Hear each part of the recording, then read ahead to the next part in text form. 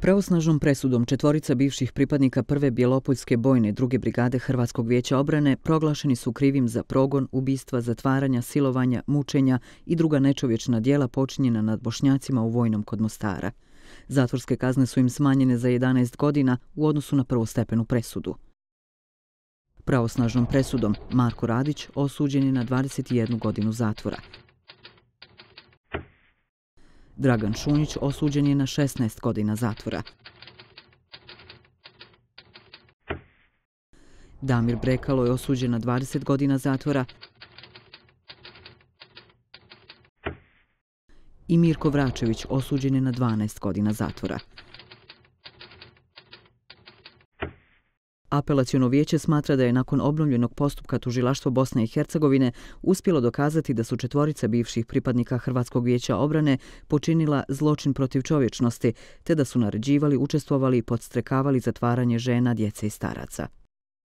Znajući za takav napad, naredili, počinili, podstrekavali, pomagali i podržavali napad na bošnjačke civile, tokom kojeg napada su više od 70 bosanskih muslimanki, djece i staraca, nezakonto hapšeni, zatvarani u nehumanim uvjetima, u kućama i drugim objektima u selu Vojnu, općina Mostar, dok su bošnjački muškarci iz logora Heliodrom, koje su do, dovodili na prisilni rad, nezakonto zatvarani u zatvoru u selu Vojno, općina Mostar, gdje su držani u brutalnim, ponižavajućim i nehumanim uvjetima u garaži i podrumu jedne kuće, izloženi fizičkom i psihičkom zlostavljanju, mučenju, podvrgavani svakodnevnom premlačivanju od strane stražara i vojnika, usled čega je više zatočenika podleglo. Sudija je naglasio da su optuženi također direktno ili kao pomagači odgovorni za silovanja i seksualna zlostavljanja nekoliko svjedokinja, te da je Radić tri puta silovao svjedokinju A i seksualno zlostavljao svjedokinju D.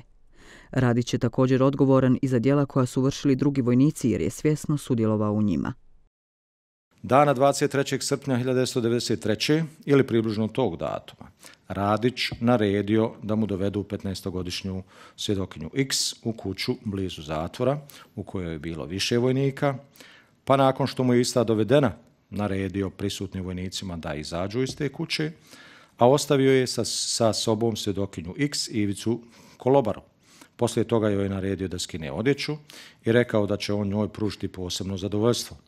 Uprko s njenom plaću i molbama da to ne učini, Radić se samo nasmijao svjedokinji X, strgnuo joj odjeću i naredio joj da gola sjedne između njega Ivice i Kolobari. Zatim je naredio Ivici Kolobari da ode i kada je Ivica Kolobara otišao, Radić joj je rekao da može da bira da li će imati s njim seksualni odnos ili će ga oralno zadovoljiti, ali zbog telefonskog poziva na koji je trebao da se javi, Radić nije mogao da izvrši svoju nakanu I rekao je svjedokinji X da je ovaj put imala sreće, ali da sljedeći put neće biti tako sretna. Radić, Šunjić, Brekalo i Vračević poslani su na izdržavanje kazne.